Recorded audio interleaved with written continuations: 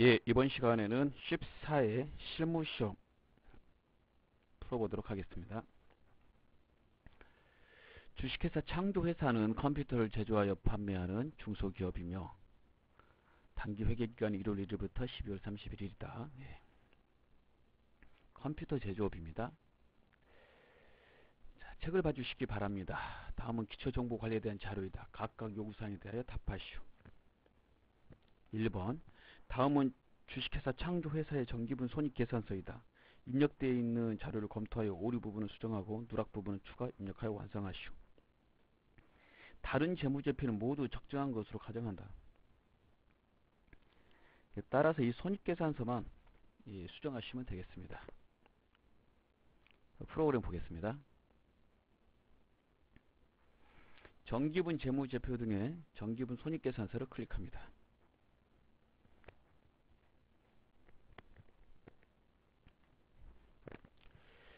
자, 틀린 내용을 찾아서 수정하시면 되는 겁니다.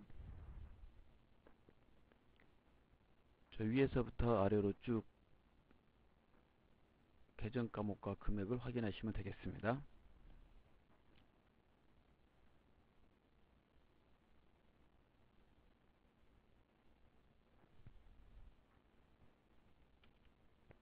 예, 복리후생비 금액이 틀렸습니다. 복리후생비 금액을 수정합니다.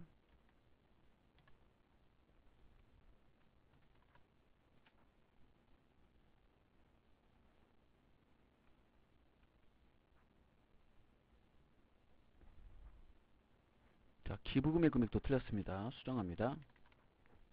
190만원으로 단기순이익으로 확인하시면 되겠습니다. 두 번째 문제 보겠습니다. 제조 경비 중 임차료와 관련하여 창고 임차료 비중이 크므로 계정 과목을 별도로 설정하고자 한다. 아래 계정 과목을 추가 등록하시오. 기초정보 등록에 계정 과목 및 적용 등록을 누릅니다.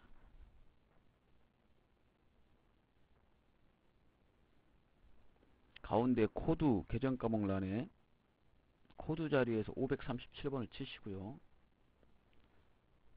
우측에 해당되는 계정 과목과 성격을 입력하시면 되겠습니다.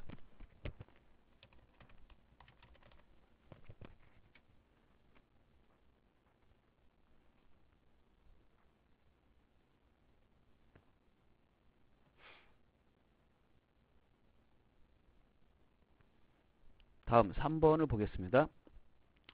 종업원에게 주택자금을 대출해 주기 위해 종업원을 거래처에 등록하려고 한다. 다음의 내용을 참고하여 등록하시오. 거래처 등록을 클릭합니다. 자, 일반 거래처 탭에 그대로 등록하시면 되겠습니다.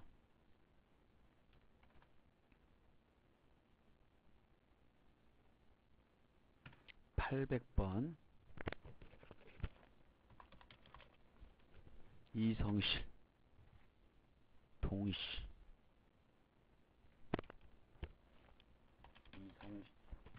이성실 대표자 명에 이렇게 넣으시면 되겠습니다. 다음은 일반 전표 입력 문제입니다. 전표 입력에 일반 전표 입력을 누릅니다.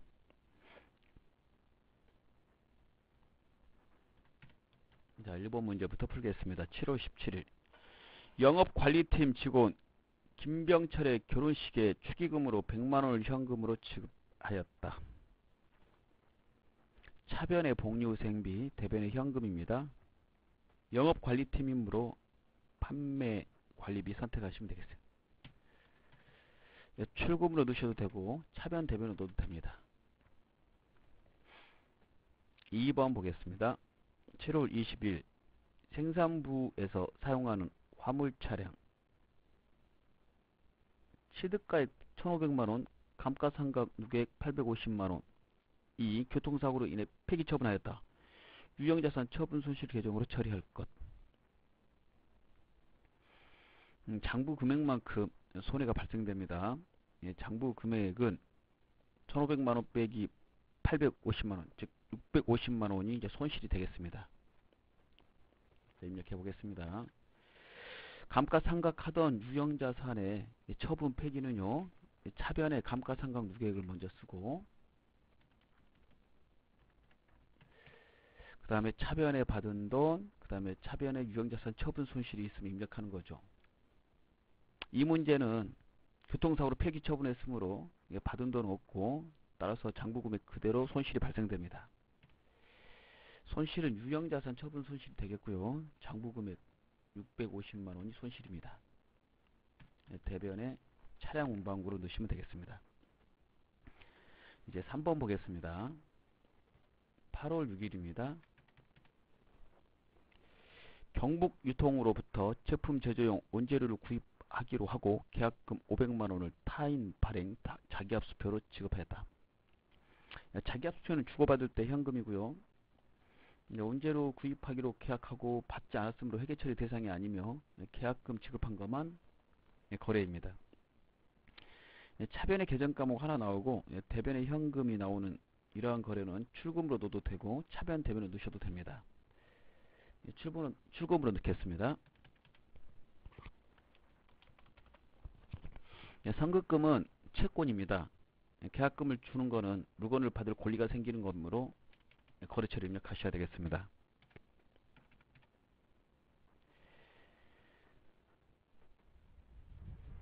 다음에 4번 문제를 보겠습니다. 8월 9일입니다. 거래처 주식회사 송강으로부터 제품을 매출하고 받은 받으럼 1000만원을 거래은행인 KH은행에서 할인하고 할인료 35만원을 차감한 잔액을 당사 보통 예금에 입금하였다. 매각거래로 처리할 것. 자, 매각거래는 이제 소유권이, 어음에 대한 소유권이 이제 넘어갔다. 이런 뜻입니다. 은행으로. 따라서 매각거래 시의 그 할인료의 이름은 매출채권 처분 손실로 처리합니다. 차변에 매출채권 처분 손실 할인료 35만원 먼저 비용이 발생 차변에 넣고요. 그 다음에 차변에 받은 돈 어, 보통예금 그 차액 965만원 넣고 예, 대변에 받으러 송강 거래처 입력하시면 되겠습니다. 다음은 문제 5번을 보겠습니다. 8월 22일입니다. 거래처인 주식회사 중국 상사의 외상매입금 6,400만원 중 50%는 당좌 수표를 발행하여 지급하고 나머지 금액은 상환을 면제받았다. 자, 이게 채무잖아요. 외상 매입금이. 어, 면제 받으면 그 계정 과목 이름은 채무 면제이익입니다. 자, 그러면 입력하겠습니다. 차변의 외상 매입금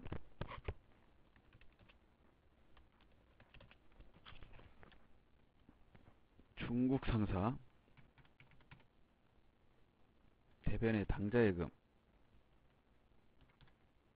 대변의 채무 면제이익 채무 면제이익 채무 면제이익은 영업의 수익입니다. 수익의 발생은 대변에다 입력하시면 되겠습니다. 6번을 보겠습니다. 8월 25일입니다. 번개, 범계 기업의 외상 매출금 3천만원 중 1천만원은 현금으로 지급, 현금으로 받고, 1천만원 현금으로 받고, 나머지는 번개 기업 발행의 약소금을 받았다. 어, 외상 매출금이 제품을 팔고 받은 것이므로, 어, 받아야 될 것이므로, 예, 받으러, 어, 어음을 받으면 예, 받으럼으로 처리해야 됩니다. 예, 상거래기 때문에 그렇죠. 그러면 차변부터 써보겠습니다. 차변에 받은 거 현금 1천만 원, 그 다음에 차변에 받으러움 범계 기업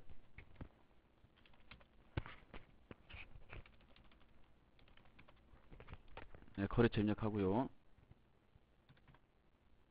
2천만원 대변에 외상 매출금 번개 기업 입력합니다 어, 채권 채무에는 거래처를 코드 번호까지 입력하셔야 되겠습니다 자 이제 매입 매출 전표 입력 문제를 풀어보도록 하겠습니다. 네, 문제 3번은 매입 매출 전표 입력입니다. 매입 매출 전표 입력을 클릭합니다.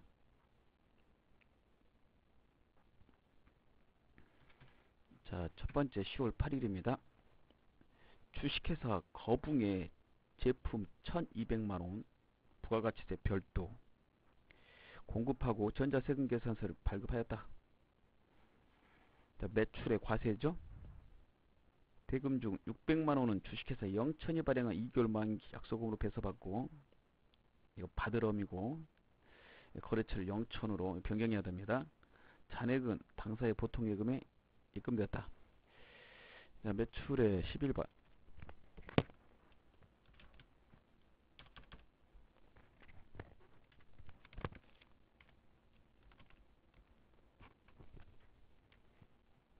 전자란의 여 예, 붕괴는 이제 혼합하셔야 되겠습니다.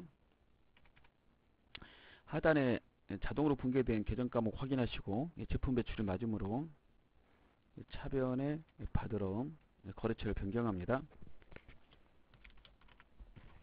주식회사 영천으로 600만원 차변에 보통예금 720만원 되겠습니다.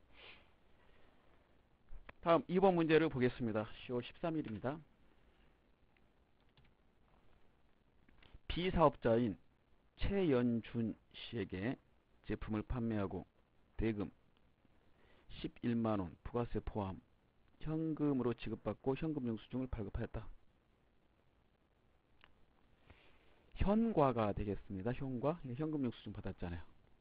자 매입의 현과 아, 매, 아, 매출의 현과 제품을 팔았으므로 자, 그리고 건별 카과 현과 이 건별 카과 현과는 부가세를 포함해서 입력하는 겁니다.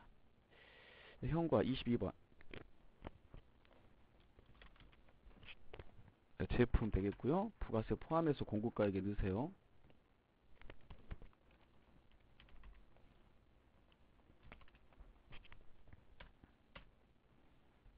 자, 분계 1번 하시면 자동으로 분계됩니다. 하단에 수정할 게 없습니다. 자, 이번에 3번 문제를 보겠습니다. 10월 15일입니다. 주식회사 탐진테크의 임가공 계약을 임가공 계약 체결하고 제작을 의뢰했던 제품을 납품받고 임가공 외주 용역에 대한 전자세금 계산서를. 자, 이 계정 과목은 외주 가공비죠. 예, 임가공은 임가공비 2천만원 부가가치세 별도 전액 보통 예금으로 결제하였다.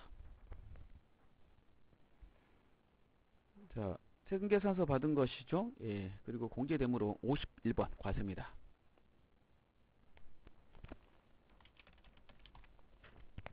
임가공비 넣고 2천만원 넣고 거래처 넣으시고 전자란에 여하고요. 분계는 혼합해야 됩니다. 에, 매입에 자동으로 나오는 기본값 원재료를 외주 가공비로 바꿔야 되겠습니다. 제조원가 거 선택하시고 대변에 이제 보통 예금 이렇게 처리하시면 되죠. 다음 4번입니다. 10월 17일 중국 칭따오 상사의 제품 1000개 개당 2,000위안을 직수출하고 대금을 예상으로 하였다.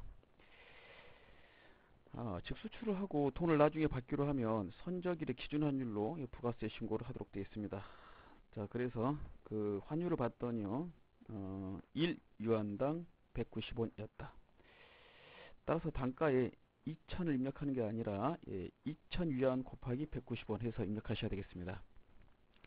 자, 매출의 수출입니다.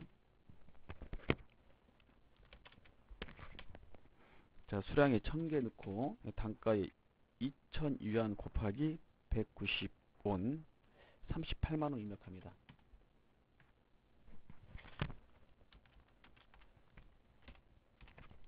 자, 칭따오 상사 어, 수출의 그 영수일 구분은 1번입니다. 음, 자, 이 1번 모르시면 이렇게 풍선도 말, 말풍선 버튼 눌러서 확인, 어, 확인해서 넣으시면 되겠고요. 예, 분계는 2번 하시면 되죠. 예, 자동으로 분계됐고 제품 배출 계정이 맞으므로 빠져나옵니다. 예, 다음은 5번 문제입니다. 10월 22일 생산부에서 사용할 실무서적을 문풍, 문풍 문고에서 9만원에 구입하면서 전자 계산서를 수취하고 미지급하였다. 자, 계산서죠. 자, 매입의 53번 면세입니다. 생산부에서 쓸 서적의 이름은 제조원가의 도소인쇄비가 되겠습니다.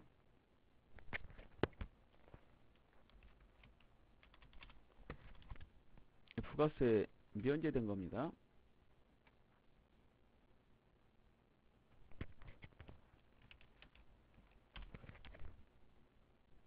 전자가 나오면 전자란에 열을 입력합니다. 전자세금계산서하고 전자계산서는 전자란에 열을 입력하십시오.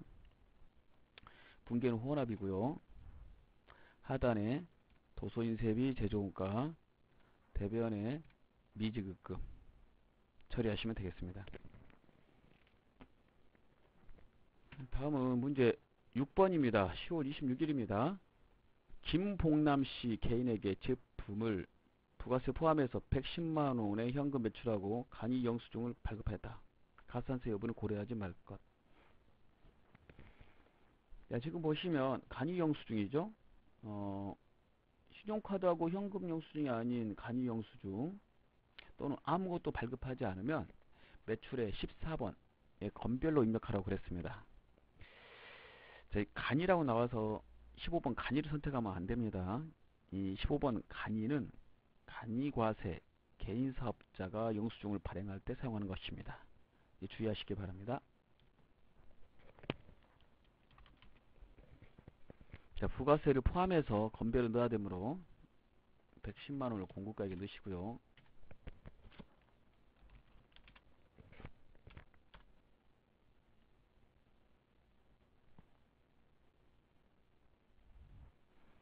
자, 분계는 1번이 가장 빠릅니다. 1번 하시면 이제 자동 분계되고 네, 다 맞습니다.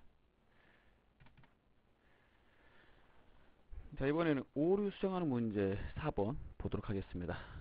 4번에 1번 8월 15일 현금으로 지급한 운반비는 전액 원재료 구입과 관련된 운반 비용으로서 대구 화물 일반 과세자로부터 수기로 세금 계산서를 발급받은 것이다.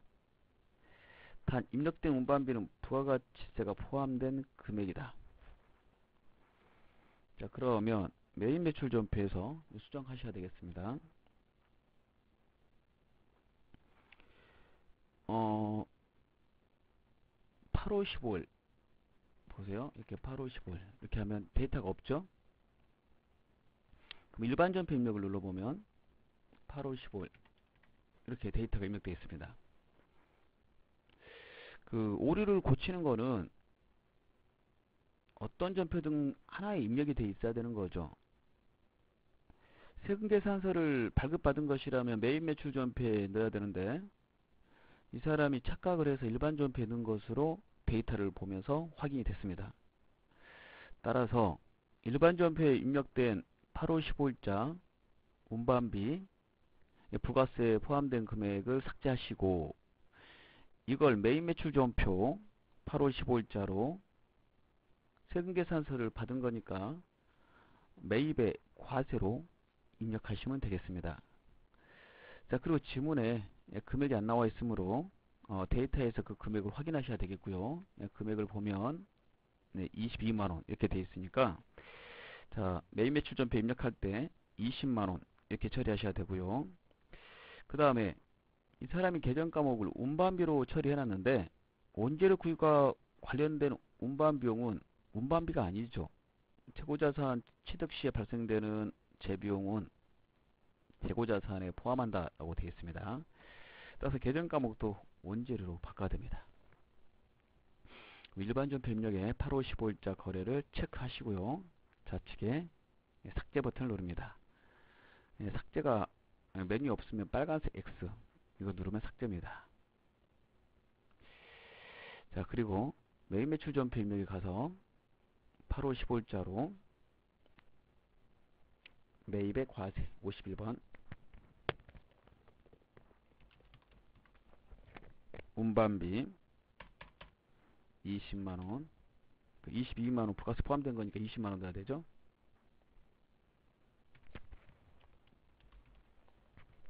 대구 화물. 그리고 전자란에 열을 넣으시면 안 돼요. 수기는 종이를 말하는 것입니까?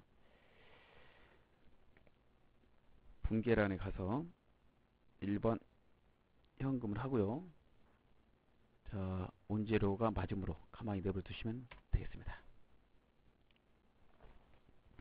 자, 2번 문제 수정해 보겠습니다. 11월 25일 주식회사 영월의 외상매출금 800만원을 회수하여 당사 보통예금에 입금된 것으로 회계 처리하였으나 회계 처리 회계 처리 전 주식회사 영월의 예상 매출금 잔액은 500만 원이었으며 이를 초과하는 금액은 동사에서 발행한 어음을 조기 결제한 것으로 밝혀졌다.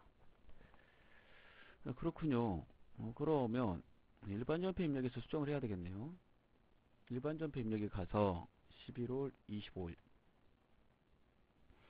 자, 보통 예금 통장에 이제 800만 원 들어온 거는 외상 매출금 이제 800만 원이 아니다 말했죠? 외상 매출금은 500만 원이었다 라고 그랬으니까 500으로 고치고 그 나머지